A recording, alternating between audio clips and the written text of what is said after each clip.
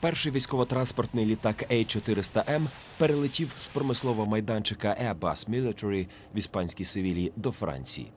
У розробці та серійному запуску брали участь сім країн-членів НАТО: Німеччина, Франція, Іспанія, Велика Британія, Бельгія, Люксембург і Туреччина. Цей літак необхідний для швидкого перекидання військ та техніки на значній відстані. Франція перша взяла літак на озброєння. До кінця року ВПС країни мають отримати ще два таких літаки.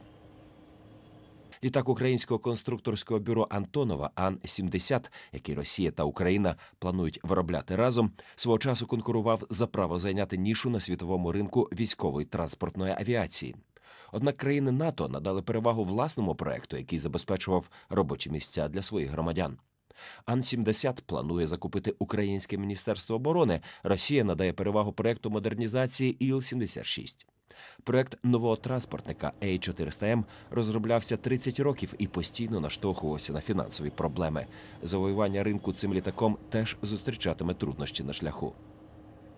Це займе чимало часу, але з усіх аналогів літак вважатиметься найсучаснішим ще 20 років.